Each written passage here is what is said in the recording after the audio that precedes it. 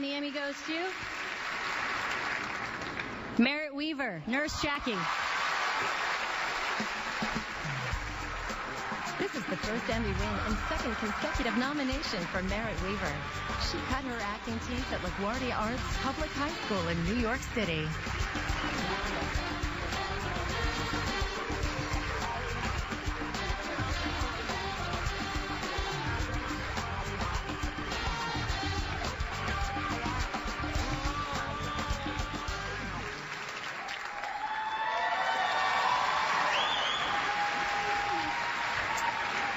Thank you so oh no, thanks so much.